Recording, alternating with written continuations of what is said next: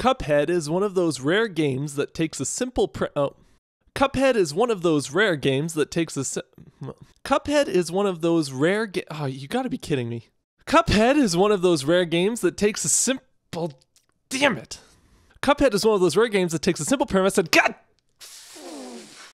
Cuphead is one of those rare games that takes a simple premise and executes it perfectly. Yes! The initial premise was to combine the aesthetic of a 1930s animation style with the gameplay of a bullet hell shooter, and that's exactly what the game turned out to be. The art style and hand drawn animation look and feel amazing, and this was obviously a huge selling point of the game, but equally as impressive to me was the period appropriate soundtrack, which has only grown on me the more I play the game. So, when patron TJ Agnew suggested the topic, I knew I had to do a video about it. I mean, that's not to say that he was the first to ever suggest doing a Cuphead video. I actually was kind of putting off writing this one because I didn't know what to say about the music. I could talk about the general attributes of ragtime and swing music, but I already kind of touched on that in my old Mario video. I could talk about the mechanics of writing jazzy eighth note lines, but I already sort of covered that in my Mario Kart 8 video. But then I realized that there was one vital element of this early jazz style that I haven't covered the arranging.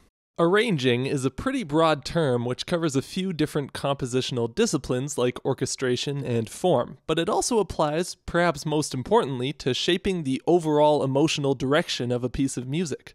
To get a sense of how an arranger does this, let's take a deep dive into Cuphead's Inkwell Isle 1.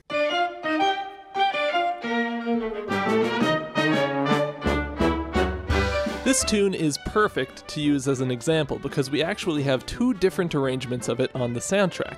The regular version scored for 11 piece ragtime band, including piccolo, clarinet, cornet, trombone, tuba, rhythm section, and strings, and the solo piano version.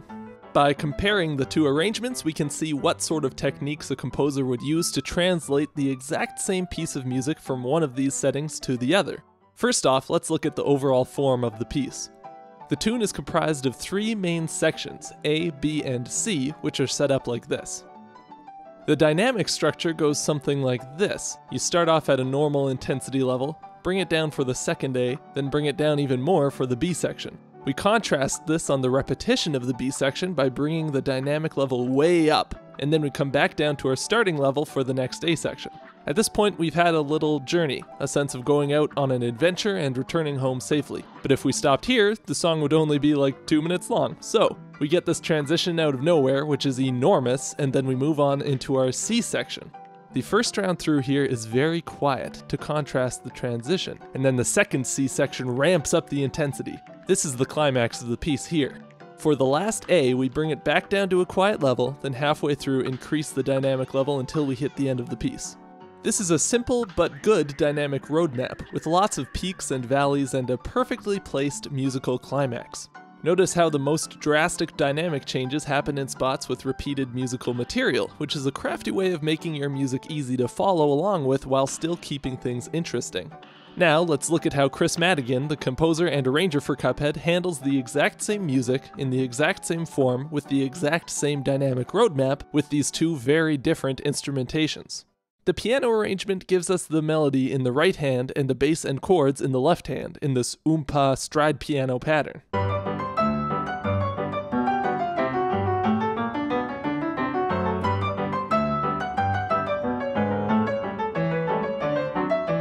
This is very appropriate for the early jazz aesthetic that the game is going for. The full band arrangement, despite the 10 extra people playing, doesn't really add any notes other than what we find in this piano part. So, in this first A section, we have the bass line taken note for note and given to the bass, tuba, and the trombone one octave higher, while the chords are played by the piano and the banjo, which you can barely hear. The melody part is taken away from the piano and given to the violin and cornet, while the piccolo plays it two octaves higher. It's important to note that the first section sets the dynamic standard for the tune, like a reference point that informs our perception of all of the musical changes to come.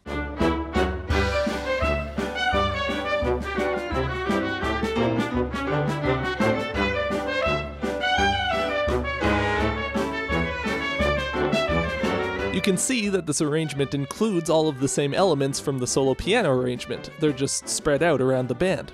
So then, the question is why pay 11 people to play this tune if you could have it done with one? The answer is color. In the piano solo version, as we move into the B section, we're supposed to hit a low point dynamically. This is achieved by playing the melody in a super high register as well as moving the bass up an octave from where it usually sits. This, along with simply physically playing it quieter, makes the section feel more gentle.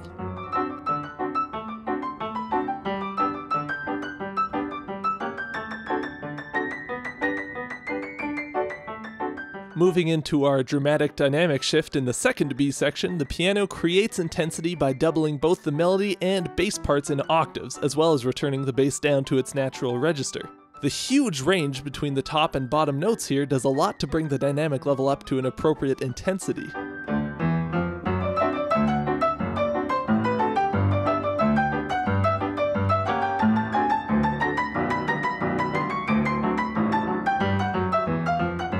With the full band arrangement, things work a little differently. The quiet B section keeps the super high melody by giving it to solo piccolo, but instead of moving the bass line up an octave, we remove the brass instruments and just give it to the bass and piano. Well, we don't completely remove the brass, the tuba is still there, but it's relegated to just playing every time the chords change. The new musical texture that this creates could not have been achieved with just a solo piano.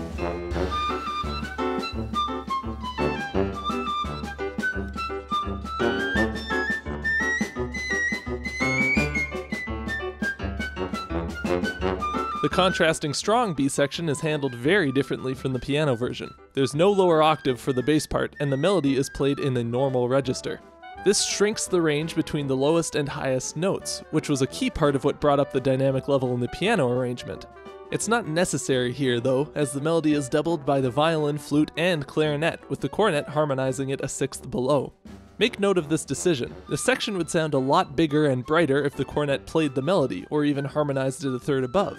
Choosing to put it in its medium register means that Maddigan is saving some intensity for later on, which we'll see once we get to the real climax of the piece. Note that the tuba is back in full force, and the cello plays this new counterline, which would have been just impossible to do on a solo piano with all of the other parts.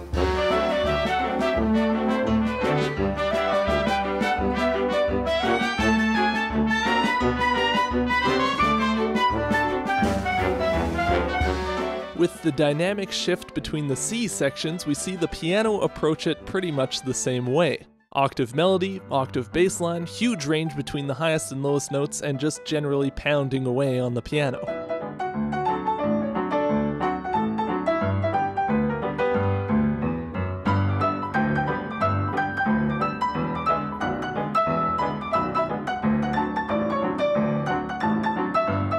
Not much more you can do with just a piano, I mean, he's only one man for God's sakes. But with the full band, a whole new world of possibilities opens up for the competent arranger. First of all, the first C section, another dynamic low point, is scored completely differently from our other low intensity sections. This time we get pared down to just three instruments. The piano, which plays the melody and accompaniment much in the way it does in the solo piano version, the tuba, which quietly contributes to the bassline, and the drums, which switch from a full kit to a simple wood block to change the texture.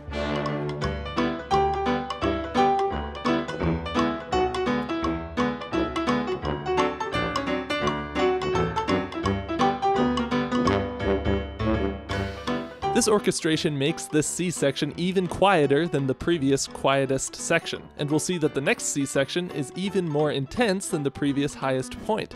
For the climax of the piece, Maddigan scores this next section as a group improvisation between the clarinet, cornet, and trombone, which itself is kind of a staple of early jazz music. Notice how the piano still has the melody, but it just gets completely overshadowed by the energy of the interacting soloists.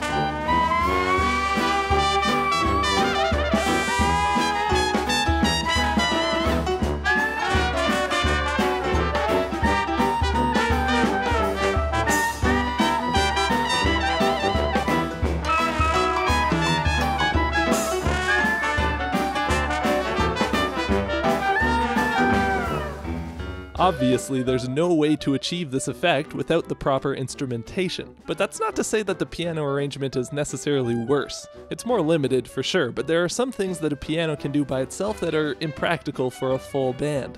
Take a look at the transition going into the C section. The band is split into two halves, with one half playing this chromatically descending line in octaves, and the other half playing this chromatically ascending line in unison. Also, the trombone has this descending counterline, but you can hardly even hear it, so who cares?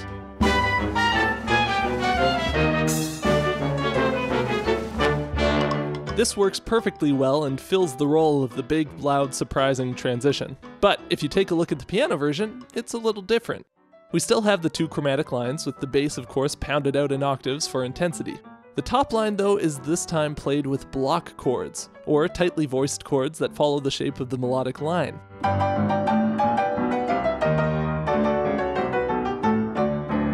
I think this is so interesting because these block chord voicings get totally scrapped for the orchestrated version, even though we had four instruments playing the melody. I mean, one of those instruments was the piano, which could have easily just pumped them out, but it didn't.